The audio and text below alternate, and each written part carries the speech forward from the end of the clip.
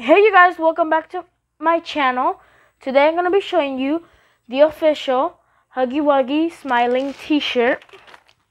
This is how it looks like.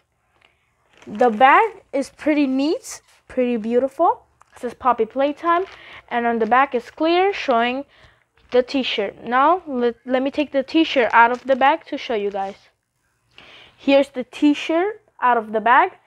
It is pretty neat pretty pretty the fabric is very nice. It's a very cotton soft on the skin. Pretty good stitching. So you guys can see that. The fabric is great too. Now over here has the tag, the QR code for the store. And on the back it says Poppy Playtime. Over here it has the tag, the size. I ordered it a little bit bigger than what I usually wear because I don't know how the size are.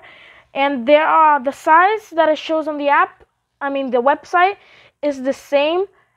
Um, it's the right me measurements. So if you have the right me measurements there, then you the t-shirt will fit. Now I want you guys to see how pretty the eyes look. And these this doesn't come off just for you guys wondering it is very glued on. It feels like a sticker but I, it's not a sticker. It's more like a printed in. So this is the front. As you guys can see it says poppy playtime. Has the bow his face pretty neat. And on the back is plain um blue. Now over here you can see the ribbon a red ribbon where it goes this goes around your neck. So yeah, it is pretty pretty.